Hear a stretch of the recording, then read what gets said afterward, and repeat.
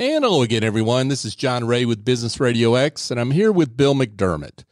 Bill is the profitability coach, and he's also the host of Profit Sense here on Business Radio X. Bill, my question for you is Should I do what I want to do? Well, and so that's a provocative question, John. And I will say uh, yes, uh, but also maybe no, or maybe the better answer is it depends. Um, what I've been asked recently is uh, should I hire this person? Uh, should I buy this piece of equipment? Um, I can't find a building. Should I build one?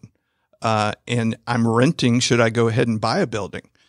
And so, what I catch sometimes is these business owners are asking these questions because they're afraid to incur cost. How much is this going to cost me? And so part of that is really just a mindset issue. And so I answer the question is it a cost or is it an investment?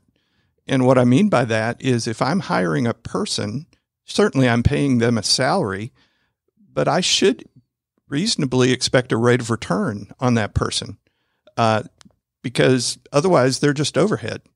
Uh, same thing with the building. If I'm building a building or buying a building, that building is going to increase the efficiency or the capacity of my business that would create more revenue in excess of the cost of the building. And of course, same thing with the piece of the equipment.